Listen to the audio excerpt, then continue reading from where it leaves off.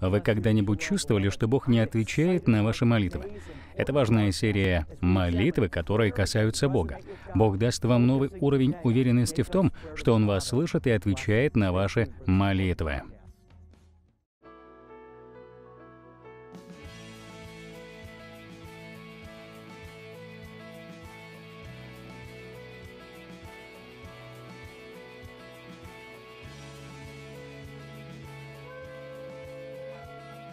Равин Шнайдер — это голос, взывающий в нашем потерянном мире и направляющий людей к Иисусу.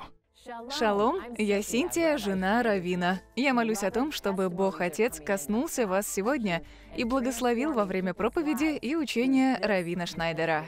Поддерживая наше служение, вы становитесь партнером Бога в построении Его Царства. Будьте обильно благословенны.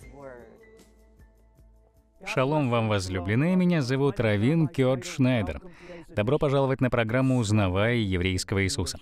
Мы продолжаем серию программ, которую я назвал «Молитвы», которые находят отклик у Бога.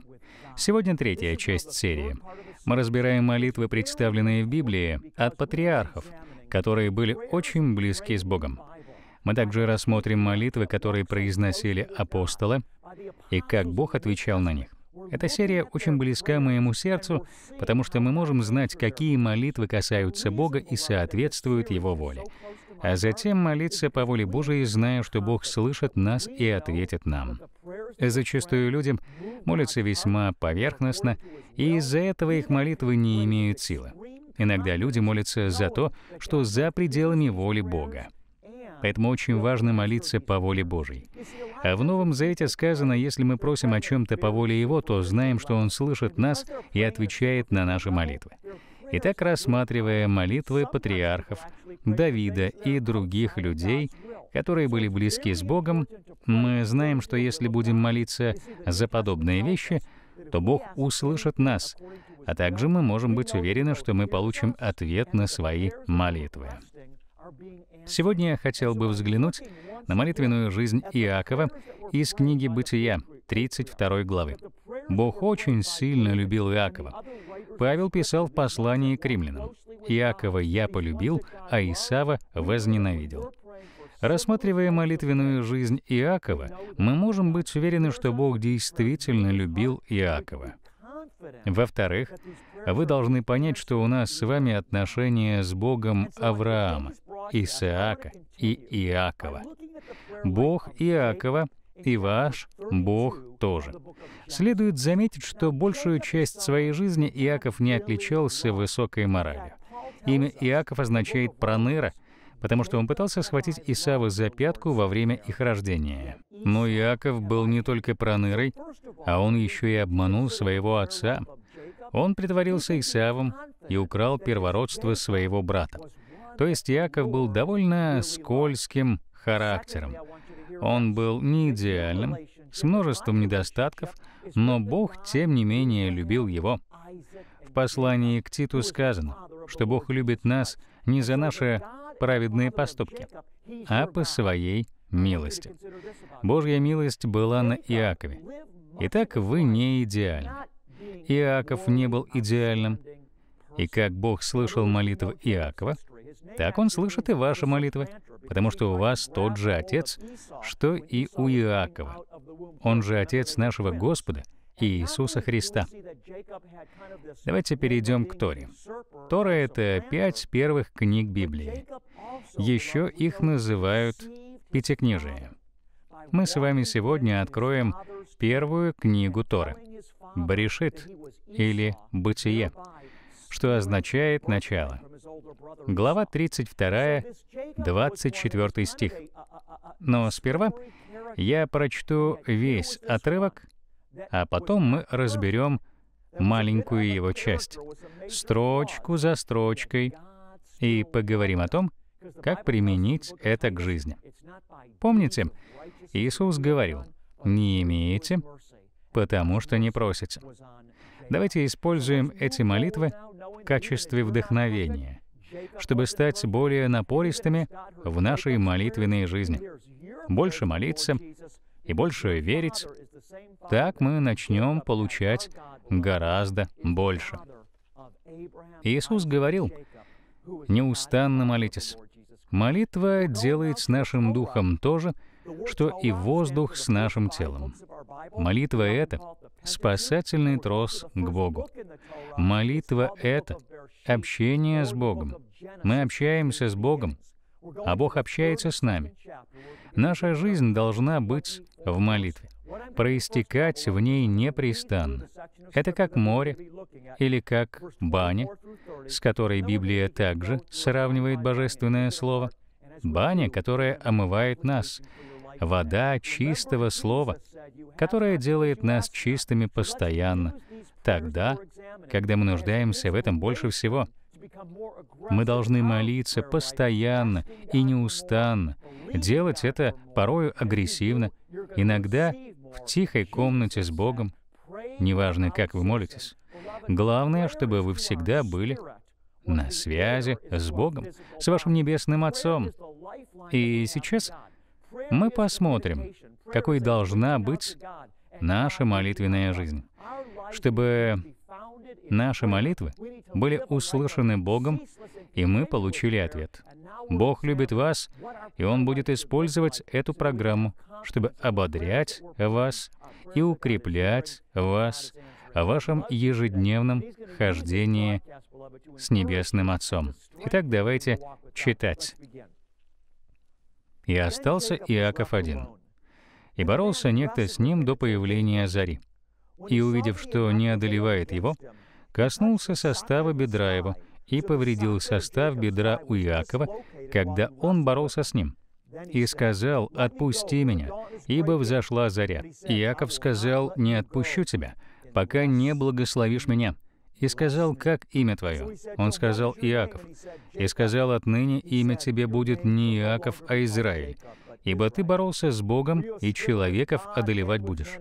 Спросил Иаков, говоря, «Скажи имя твое». И он сказал, «На что ты спрашиваешь о имени моем?» И благословил его там.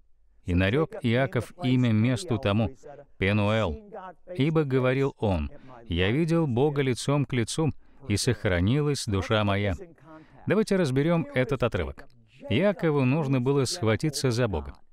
Почему? Потому что он переживал за свою жизнь. Ему предстояла встреча с Исавом, и он не знал, чего от нее ожидать. Он оставил свою семью.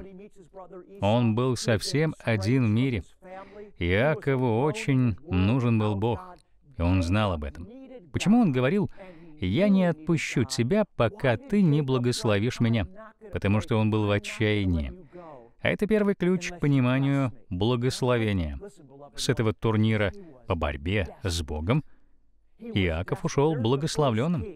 Он ушел с новым именем, новой уверенностью и новой судьбой. А что привело к этому? Его отчаяние, конечно же. Он сказал Богу, «Я не отпущу тебя, пока ты не благословишь меня». Иисус сказал, «Благословенны жаждущие, потому что их есть Царство Небесное». Бог отвечает нам, когда мы в отчаянии, когда мы серьезно относимся к Богу.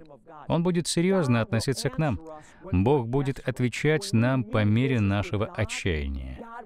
А насколько вы отчаянны? Отец, я хочу помолиться за Твоих людей. Дух Святой, двигайся в сердцах, душах и разумах людей и дай им дух отчаяния, чтобы они могли призывать Твое имя. Помните, Иисус сказал, что Царство Божие силой берется. Эта фраза — это форма духовного отчаяния. Именно в таком состоянии был Иаков, когда сказал, «Не отпущу, пока ты не благословишь меня». Мы должны сказать, «С меня хватит». Я устал от еле теплой жизни. Я устал от жизни без побед. Я устал от взлетов и падений. Я должен ходить в победе. Я в отчаянии. Я больше не согласен на среднюю жизнь. Я не отпущу тебя, пока ты не благословишь меня победой. Итак, в основе молитвы Иакова было отчаяние. Хм, мне интересно, а кто из вас сейчас находится в таком духовном состоянии отчаяния? Если это вы, то опуститесь на колени прямо сейчас. Если вы отчаянно нуждаетесь в Боге, то скажите Ему то же, что сказал Иаков. «Отец мой, мне надоело жить одному. Мне так надоело, что моя жизнь теплая. Я опускаюсь на колени и прошу, дай мне такое же сердце, как у Иакова. Сердце в отчаянии, сердце, которое не отпустит, пока я не буду благословлен. Сердце, которое верит, что я буду благословлен, если не отпущу. Отец, я серьезно отношусь к Тебе. Я каюсь перед Тобою. Стоя перед Тобой на коленях, я прошу Тебя благословить меня и мою семью. Помоги мне после этой молитвы жить в единстве с Тобою. Я хочу жизни без взлетов и падений, жизни в победе, жизни прозрачной перед Тобой и перед людьми. Отец, я люблю Тебя, и как Иаков хватаюсь за Тебя. Верой своей и провозглашаю от всего сердца, я не отпущу Тебя, пока Ты не благословишь меня во имя Иисуса моего, Господа и Спасителя. Я уверен, что некоторые из вас пережили сейчас Божие прикосновение. К вам пришла новая сила, новое помазание, новые возможности. Они пришли в вашу жизнь, потому что вы сделали то, что сделал Давид. Придите к отчаянию, придите к вере, это второе основание для молитвы Иакова. Иаков имел не только отчаяние, но и веру. Он имел веру в то, что Бог благословит его. Он верил в то, что его жизнь может стать лучше. Он не только верил в то, что Бог существует, но и в то, что этот Бог еще и благословляет. Посмотрите еще раз на слова Иакова что он говорит в 26 стихе. «Не отпущу тебя, пока не благословишь меня». Для этого нужна вера. Он не думал, благословит ли его Бог, может ли Бог благословить его. Он знал, что Бог может и желает благословить его, но ему нужно потребовать этого в вере. Как видите, чтобы получить что-то от Бога, нам нужно это потребовать. Я не говорю, что мы можем контролировать Бога. Нам нужно знать Бога и иметь достаточно веры, чтобы требовать что-то от Него. Я знаю, кто ты. Я знаю, что ты сказал.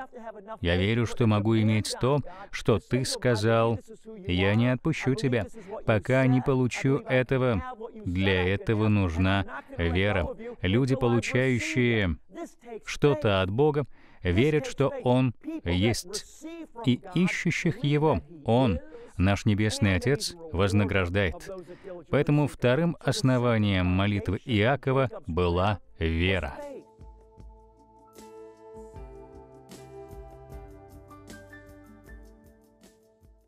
Равин Кёрт Шнайдер — это служитель Евангелия и пророк Божий. Он трудится для Бога и оказывает огромное влияние, где бы он ни был. Он благословил Африку и всех тех людей, которые получили свободу от оков сатаны. Я еще никогда не видел такой большой крусейд в Ромбо. Равин Кёрт учит о настоящей жизни с Богом. Не могу передать, насколько я ему благодарен. Это очень особенные отношения от Бога. И они будут продолжаться, потому что мы планируем приглашать его к нам снова и снова. Мы очень рады, что он приехал к нам однажды и ждем его снова. Надеюсь, теперь вы знаете, как я достигаю этот мир. Но без вашей помощи это невозможно. В Библии сказано «благословенны ноги, проповедующих мир и благую весть». Но как они могут это делать, если не будут посланы? Я приглашаю вас стать моим партнером и выслать финансы на достижение новых душ для Господа. Заранее благодарю вас. Пусть Бог обильно благословит вас. Шалом, возлюбленные. Вернемся к нашей программе. А что вы думаете о Боге? А вы думаете, что Бог далеко? Вы думаете, что не можете на Него рассчитывать? Или же вы не уверены в том, что Бог будет или не будет делать, и поэтому вы не ходите с предвкушением благословения? У вас нет такой веры, которая поднимается и хватается за Слово Иисуса? А Иисус сказал, «Если Сын освободит вас, то вы истинно свободны». У вас такая вера, которая говорит, «Иисус, я верю, что в Тебе я свободен. Я верю, что в Тебе я могу ходить в свободе и в победе. Библия говорит, что мы можем царствовать в этой жизни благодаря Иисусу Христу. Если вы верите в Слово Божие и в то, что Иисус сказал о себе, если стыд не мешает вашей жизни, потому что вы знаете, что принято в нем, тогда вы подниметесь внутри, как это сделал Иаков, и скажете, «Господь, я хватаюсь за Твое Слово, я верю Тебе, я верю Твоему Слову, я верю, что могу иметь то, о чем говорит Твое Слово. Отец, я хватаюсь за это и не отпущу. Это мое. Я буду ходить в этом во имя Иисуса. Спасибо, Отец. Вся слава Тебе. Именно такая вера двигает горы. Именно такая вера хватается за Слово Божие и верит, что Бог дает нам то, что говорит, но делает Он это только через отчаяние и веру. Иисус сказал, «Блаженны нищие духом, потому что их есть Царство Небесное». Нищие духом означает признать, что вы пусты без Божьей полноты. Иаков верил в то, что может быть благословленным. Также вы должны понять, что Бог желает благословлять вас. Иногда мы черпаем идеи из окружающего мира, вы можете сказать, «Мои родители христиане, поэтому я буду жить на этом уровне победы». Но я смотрю на других людей из нашей церкви, и они живут на этом уровне, они много переживают, жалуются и боятся, и часто вы соглашаетесь на меньшее, потому что ставите планку в соответствии с теми, кто вас окружает, а не с тем, что говорит Слово Божие. Но Писание говорит, что мы благословлены всеми духовными благословениями в небесах. Бог дает нам дух силы, любви и здравого разума. Иисус пришел, чтобы дать нам жизнь с избытком. Когда вы действительно верите Слову Божьему, вы начинаете молиться об этом и требовать этого, а потом и получаете это. Полнота мира, силы и благословений. Помните, Иаков сказал, «Не отпущу тебя, пока ты не благословишь меня». Нам принадлежат все духовные благословения в небесах полнота радости и полнота всех духовных благословений. Полнота свободы и полнота силы во Святом Духе не приходят за секунду. Но мы входим в это все больше и больше через молитву. Евреи изгнали амареев, хитеев и евусеев и понемногу стали захватывать обетованную землю. Это образ нашей с вами духовной жизни. То есть через молитву мы поднимаемся, изгоняем тьму, разрушаем власть тьмы, недостатка и тревог. Разрушив все это, мы входим в вечную жизнь в Иисуса, в Царство Божие. И так мы входим в еще больший мир, любовь, шалом, единство и силу Царства Божьего. Мы продвигаемся вперед и входим в еще большую полноту, о которой молился Иаков в благословение, если сказать одним словом. Но для этого вам нужно отчаянно хотеть этого, верить в это, а потом пребывать в молитве. Павел сказал, что мы сражаемся не против плоти и крови, а против сил духовной злобы. Иисус, победивший все это, унаследует все эти благословения. Итак, чему же мы научились с вами сегодня? А научились мы тому, что Бог благословляет людей не потому, что они идеальные. Иаков не был идеальным, но он жаждал Бога. Вот почему он так сильно хотел заполучить первородство своего брата. Итак, возможно, вы не идеальны, но если вы жаждете Бога, то вы ему подходите Во-вторых, вам нужно не только отчаянно нуждаться в Боге и жаждать Его, но вам также нужно верить, что Бог желает и может благословить вас. Поэтому в завершении программы я хочу призвать вас не уставать от молитвы. Иисус даст вам пережить жизнь с избытком. Иисус сказал, «Я пришел, чтобы вы имели жизнь, и не простую жизнь, а с избытком». То есть вас и меня ждет еще больше. Вы можете быть уверенными, что из-за ваших отношений с Иисусом Бог любит вас и благоволит к вам, хотя вы и несовершенны. И во-вторых, если вы приходите к Богу в вере, верите Его Слову и хотите, чтобы оно полностью исполнилось в вашей жизни, то вы можете быть уверены, что войдете в полноту жизни, которую приобрел для вас Иисус. Далее, в-третьих, Иаков был уверен в том, что Бог, которому он молился, был благословляющим Богом. В послании к Ефесянам сказано так. «Благословен Бог и Отец Господа нашего Иисуса Христа, благословивший нас всеми духовными благословениями на небесах». Павел начинал все свои письма так. «Благодать и мир вам от Бога Отца и Господа нашего Иисуса Христа. Вы должны быть уверены в том, что ваш Бог любит вас. Он благосклонен к вам, и Он благословляет. Поэтому благословен благословляющий. Бог желает благословлять вас, и сейчас я хочу вместе с вами произнести эту молитву. Мы любим Тебя, Бог Отец наш, и поклоняемся Тебе. Мы верим, что сейчас, когда мы молимся к Тебе, Ты слышишь наши слова и отвечаешь на них. Отец, спасибо за всех моих зрителей. Мы все вместе стремимся к Тебе во имя Иисуса. Ты сказал, если мы будем просить, то получим. Если будем стучаться, то Ты откроешь эту дверь. Иисус, прямо сейчас мы стучимся и просим, зная, что так мы молимся по Твоей воле. Ты приобрел для нас жизнь с избытком ценой своей крови. Иисус, я верю, что Ты желаешь, дабы все мы ходили в полноте того, что Ты приобрел для нас своей крови. И мы приобрели эту свободу, благодаря тому, что Ты заплатил за нее. И ты счастлив, когда видишь, как мы ходим в этой полноте. Спасибо за все, что ты делаешь в нашей жизни. Мы любим Тебя, наш Иисус. Аминь.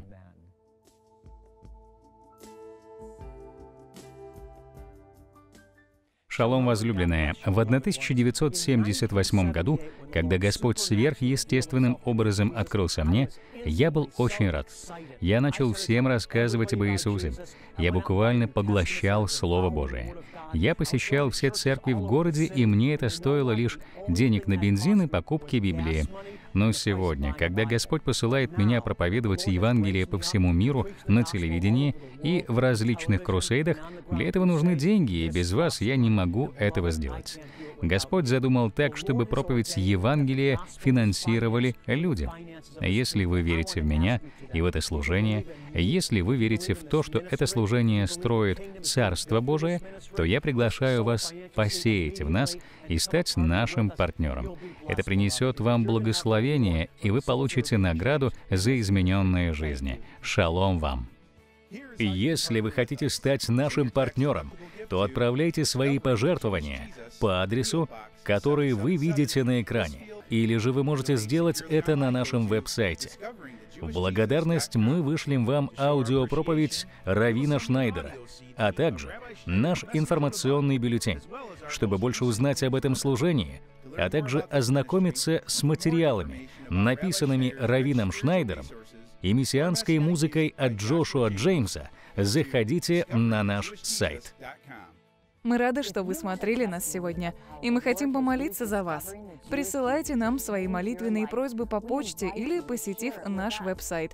Мы также хотим поблагодарить вас за вашу финансовую поддержку. Поддерживая наше служение, вы становитесь партнером Бога в построении Его Царства. Как-то в четверг утром я смотрел телевизор, и вдруг появились вы. Через 10 минут я понял, что стал свидетелем чего-то особенного — с тех пор я изменился. Слава Богу. Пожалуйста, продолжайте свою великую работу ради таких грешников, как я. Я был потерян, но благодаря вам теперь я найден. Если у вас есть свидетельство о том, как Бог изменил вашу жизнь через служение, узнавая еврейского Иисуса, то поделитесь им с нами. Зайдите на наш сайт и кликните на ссылку «Свидетельство». Спасибо вам, и пусть Отец воздаст вам за вашу щедрость и вашу верность. Будьте благословенны. А в завершении программы я хотел бы произнести Божие благословение в вашу жизнь. В шестой главе книги «Числа» Бог сказал Моисею и Аарону, «Произносите это благословение на мой народ, и тогда мое имя будет на них». Поэтому я призываю вас поднять руки и принимать благословение Бога Отца в вашу жизнь.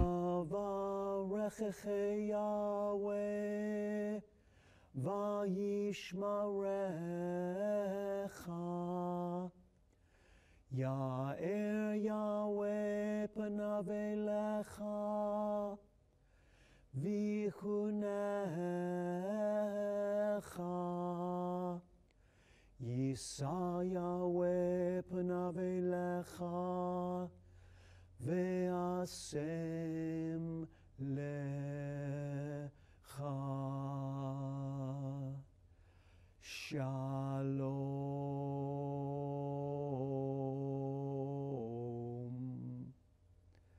Да благословит вас Господь.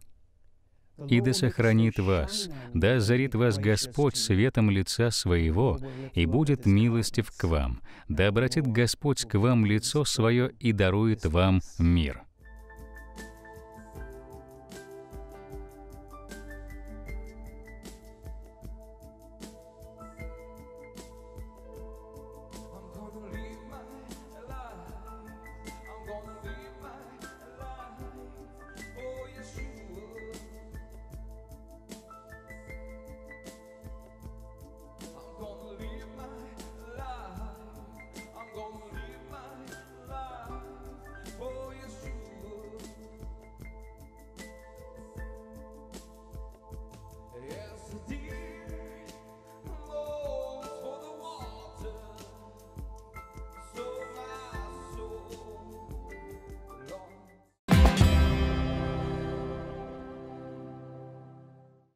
Телевизионная программа Равина Шнайдера «Узнавая еврейского Иисуса» теперь доступна на русском языке на Ютубе. Равин является евреем, верующим в Мессию Иисуса. Вы получите откровение сегодня для вашего лучшего завтра. Заходите на Ютуб сегодня и посетите «Узнавая еврейского Иисуса».